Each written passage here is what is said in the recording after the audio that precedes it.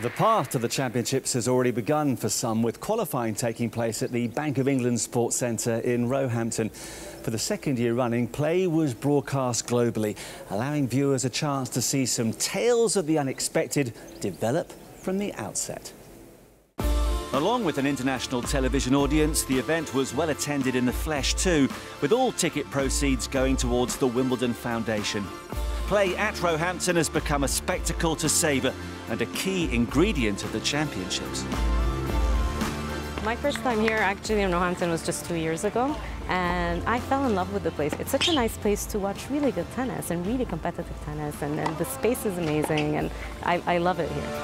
Players need to win three matches to make it through to the main draw and some intriguing storylines have emerged down the years you can see some amazing players all lined up on these courts in some great matches. And if you come through that, you deserve it the runs that some players have started over here and continued on into the main draw. It's, it's fascinating to watch. You see some of the young ones getting an opportunity, seeing them taking their first step, and that's always exciting. And it's great to see crowds over here watching these uh, young players with, with qualifying. It gives them encouragement.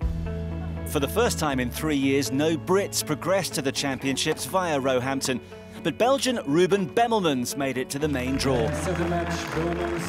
On the ladies' side, 2014 finalist Eugenie Bouchard cleared the three hurdles in her way.